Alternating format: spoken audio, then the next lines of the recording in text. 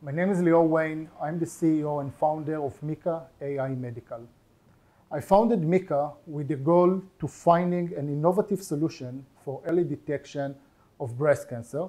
Breast cancer is the most common cancer among women. Unfortunately, more than 2.2 million cases a year. Although mammography screening helps to decrease the numbers, there is a big unmet need since the analyses are done manually, which leads to high rate of mistakes. MICA is collaborating with the Sheba Hospital, one of the 10 best hospitals in the world. I'm Professor Miri Sklair, uh, the head of the Breast Imaging Center in the Sheba Medical Hospital. And in women with dense breast, our sensitivity using mammography might be less than 50%.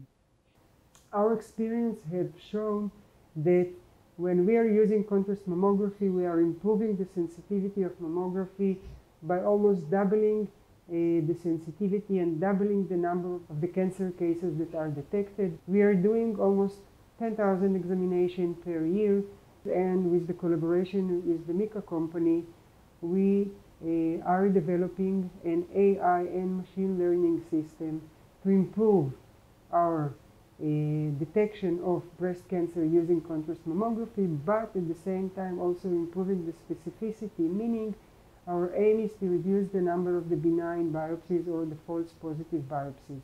We have been shown previously that we can reduce about 30% of the false positive or the benign biopsies using the AI and machine learning in contrast mammography together with the MICA company. My name is uh, Roman Baron. I'm uh, responsible for the research and development uh, at MICA.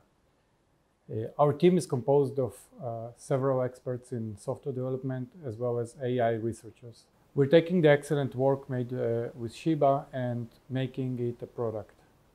As part of it, we're improving its real-world performance and we're also adapting it to further use cases. We're also expanding the use cases towards detection, automatic comparison, and automatic risk analysis. All products that we develop are aimed to work both on cloud and on-premise for the hospitals that require it. And they're all aimed to comply with uh, privacy, security, and medical device regulation that apply. MICA's team is a high talented and very motivated to bring the solution into the market. The rate of breast cancer in Europe it's higher and getting higher years after years. That's why we would like to bring MICA solution into the EU market and expand it to the US market and China, Africa, and Latin America. Thank you very much.